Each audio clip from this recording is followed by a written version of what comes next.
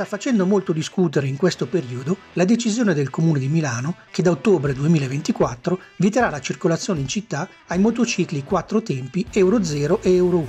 A battersi contro questa imposizione scende in campo Lori 666, biker e scrittore milanese.